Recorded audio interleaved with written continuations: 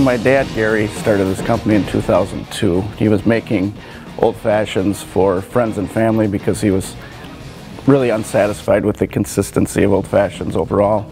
He wanted a, a, he wanted a cocktail that was close to what you would get in a supper club, but easy to make and something that was more consistent. So he decided to start making it on his own and through a lot of experimentation and um, messing with the recipe. His friends and family really liked what he had and it's always been a family business. And then we're now in 500 locations in the state and that's been a big hit. We can pair that with all sorts of spirits from vodka, gin, rum to your classic old fashioned. So the rewarding thing is that, you know, I run it with my brothers and my buddy and we're able to continue what dad started a long time ago and it's still a family business.